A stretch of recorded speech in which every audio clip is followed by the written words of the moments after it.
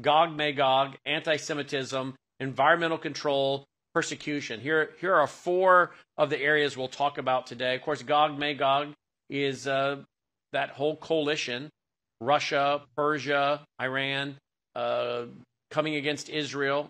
And here we have simulations, simulations being run uh, right now by by uh, Benjamin Netanyahu and his team making the press over there that they're practicing going to war with Iran completely surrounding them.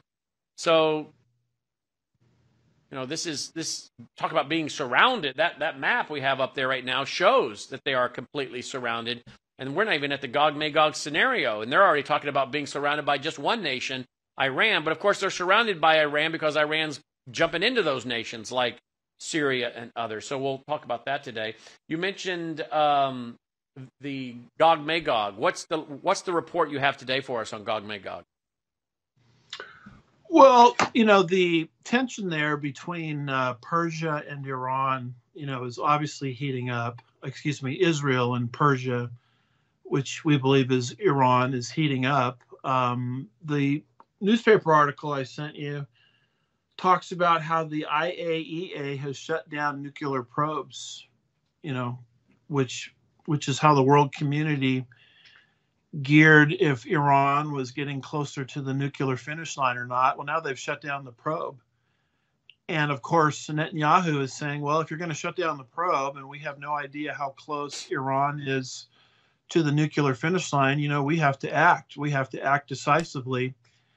Um, Israel historically has done that. In I think it was 1981, they took out a a uh, you know a WMD kind of situation there that was developing in Iraq. So why wouldn't they do it again? And you know, the fact that we see perpetual tension in the Middle East between Iran and Israel is exactly what Ezekiel predicted for the end of the age. He saw Persia or Iran turning against Israel in the last days to the point where there was an actual invasion. And um, obviously, um, a prophecy like that can't come into existence in a vacuum. The stage has to be set. So prior to this Gog Magog war, there's going to be hostility between Iran and Israel, and that's ex- exactly what you see developing today. Israel Gulf train awaits. Israel Gulf train awaits. Saudi normalization. Tell me about this, please. Yeah, I mean, what what you see here is basically um, what's called a Gulf train, a, a trade route developing from Haifa uh, into the Middle East, and it's going to benefit Saudi Arabia.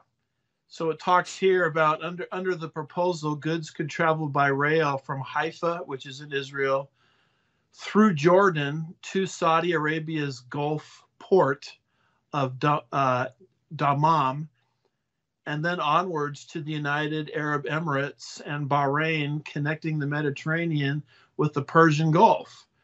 Um, it quotes here a Tel Aviv uh, professor um, who serves for the uh, Moshe Dayan Center for Middle Eastern and African Studies, said that the Saudi Saudi Arabia wants to reach normalization with Israel, and that such a move was both the reality and the inevitable and the article talks about how Saudi Arabia is saying, you know, we can't look at Israel as the enemy anymore.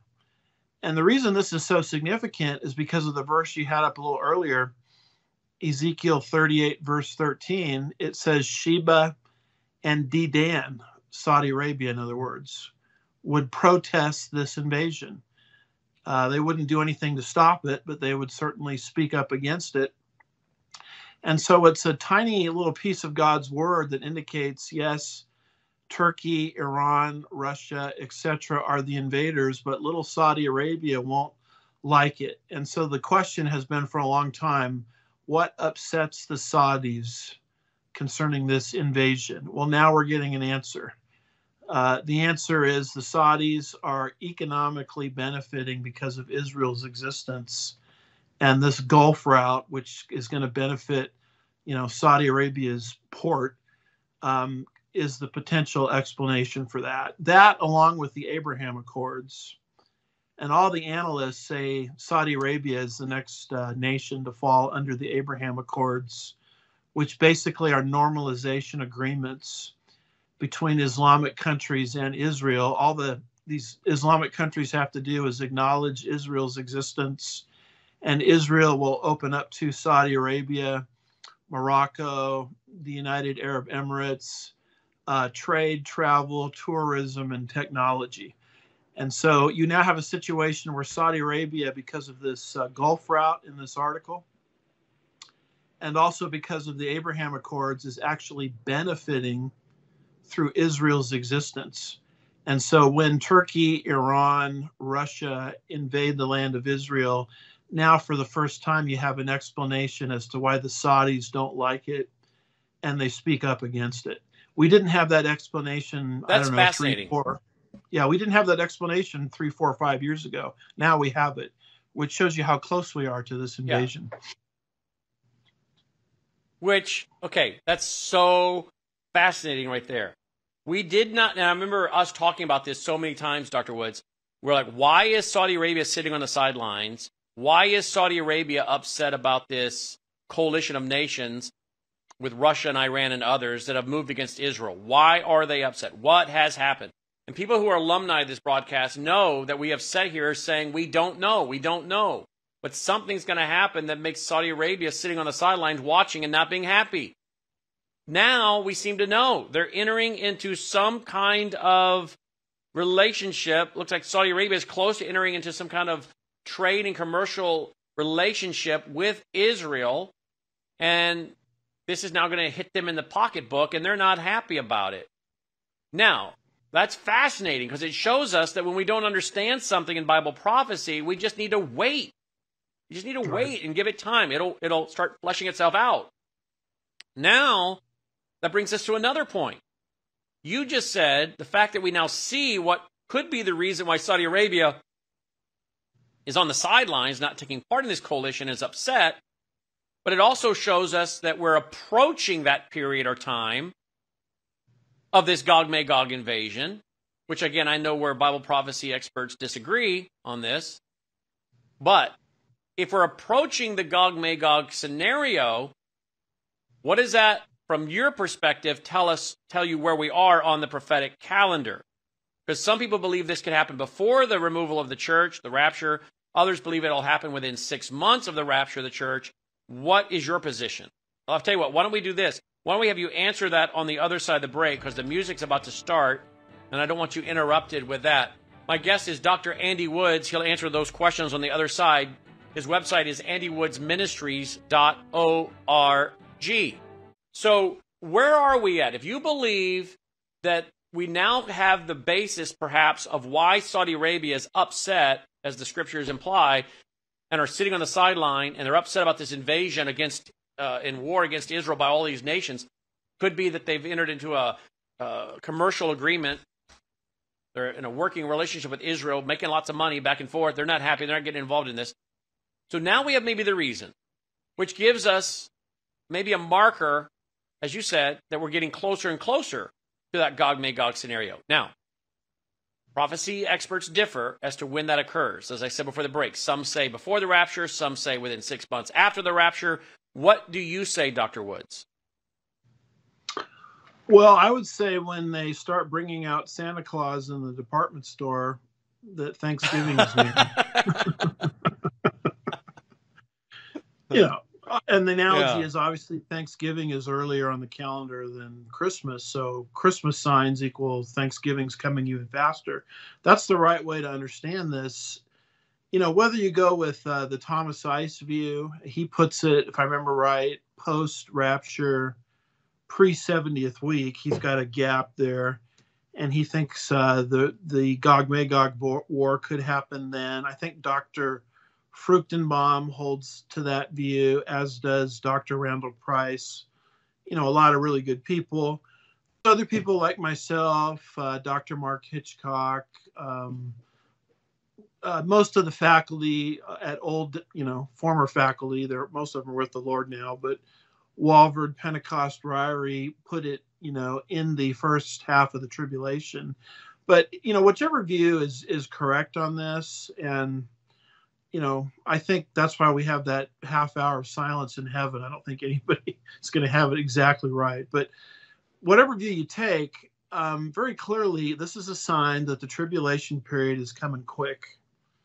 If the Gog Magog war happens before the tribulation period, or if the Gog Magog war happens during the tribulation period, either way you slice it, the tribulation period is coming even faster.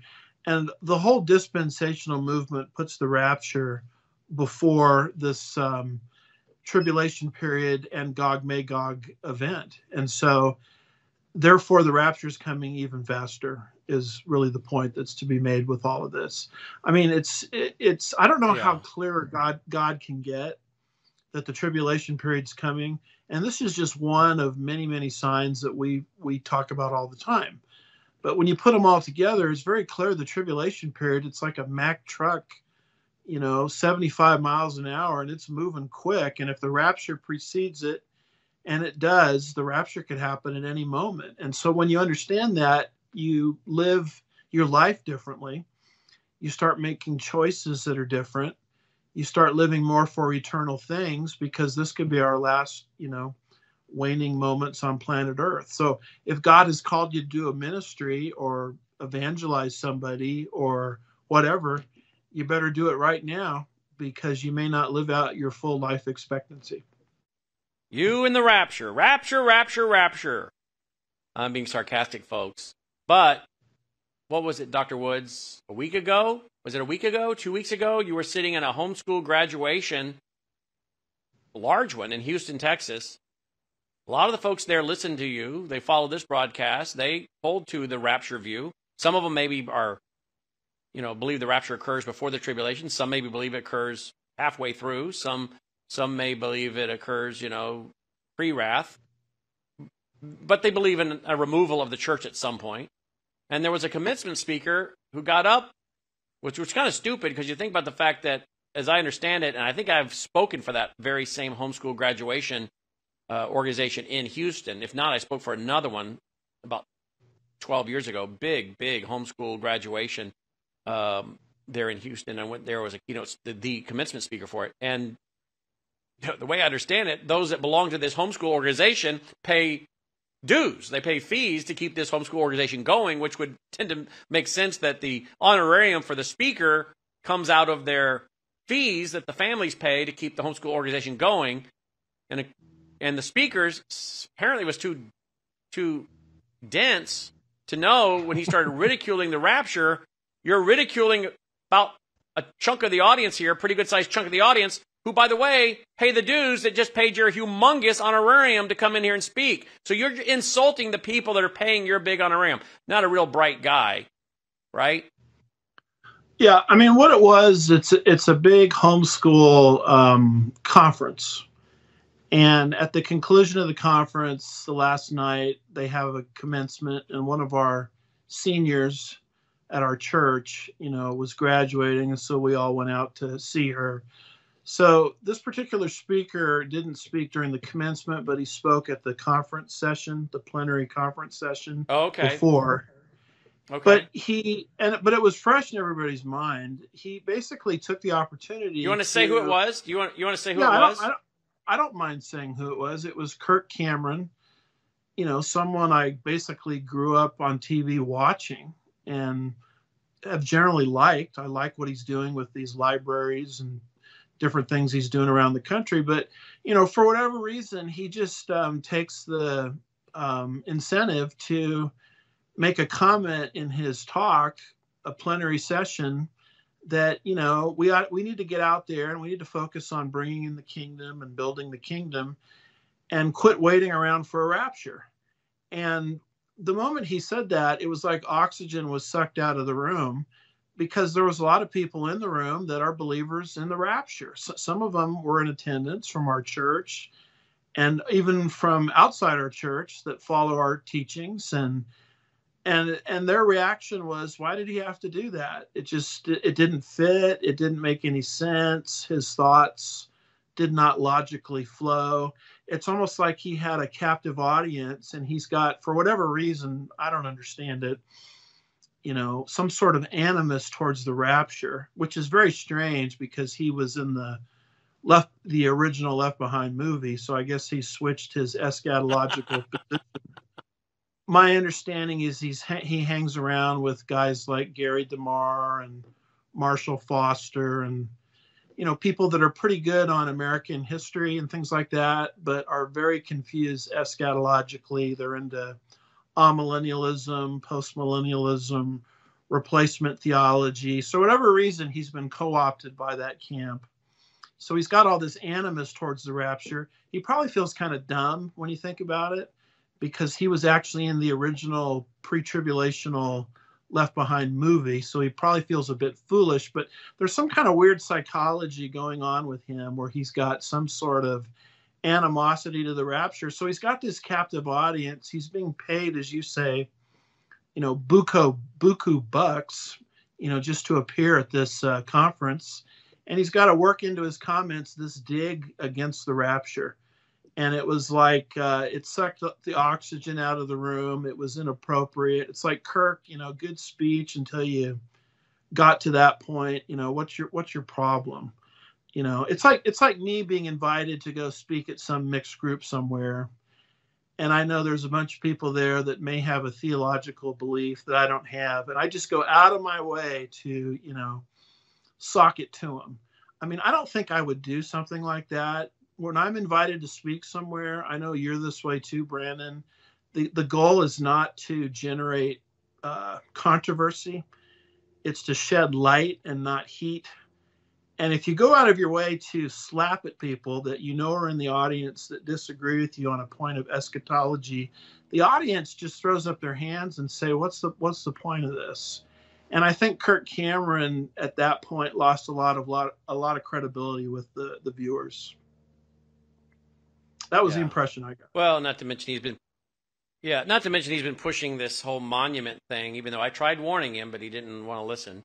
The whole monument thing is some kind of founding fathers monument, the secret sauce of saving the country, and it's overwhelmingly a Masonic, a Masonic uh, statue, and and I've proven it from the actual books written by the people who were the Masons who from the different lodges and it names the lodges and how they raise the money to pay for it. It's a Freemason Masonic statue. And Kirk Cameron, even a year or two ago, I saw him on TV with a replica of the statue, still pushing this as a Christian statue, even though we gave him all the information and put it out there. This is not. He doesn't seem to want to correct the position, but you know, um, anyway, whatever. But there you go. So well, well, um, I mention all that because, yeah, yeah yeah, if I could just interject something, here you got a guy that has a following because he was a childhood star. He has no credentials that I know of in history, academically, other than the people he associates with. He has no credentials in eschatology that I know of, and yet he wants to step out of his lane constantly. And I, I say shame on the Christian community for giving someone like that that kind of platform on those kinds of issues. Uh, don't listen to people like that when they talk outside, when they leave their lane where they're supposed to be. Uh, Dr. Woods, the next one here is anti Semitism. Can you tell me about this one, Dr. Woods? Well, obviously, anti Semitism is going to uh, escalate as we get closer to the end times. Um, one of the passages to prove it is Revelation 12, verses 6 through 17, where Satan, halfway through the tribulation period, will lose permanent access to God's throne. You know, apparently he can still go into the throne room to accuse and communicate, you know, not to worship and serve as he once was able to do. But even that privilege is taken away. He plummets to the earth. He's got a short time. He's got exactly 1,260 days left three and a half years left to destroy Israel. So I don't think a prophecy like that happens in a vacuum. You know, the the world in preparation for this is heating up against Israel. So that's why I found this particular article interesting. I think I got this, Brannon, from your Worldview Report uh, website. It talks here about an Amnesty International board member who denies Israel's existence. She says there is no such thing as Israel. what is Israel should be called Palestine. Palestine, people need to understand, is is totally made up.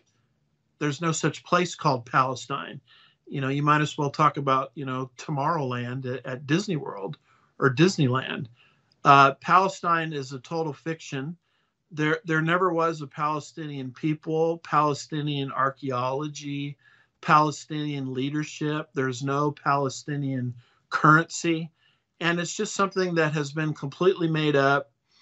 When the nation of Israel won its wars in 1948, 1967, and 1973, and at that point, Yasser Arafat at the time got smart and uh, he recognized that we can't beat Israel militarily. We've got to beat them at the game of propaganda. And this is where he most likely, many believe, got schooling from the then Soviet Union on how to do the art of propaganda. And they said, here's how to do it. You have to convince the world that Israel is an oppressor. And she basically uh, took over a thriving population, you know, and that population is called the Palestinians.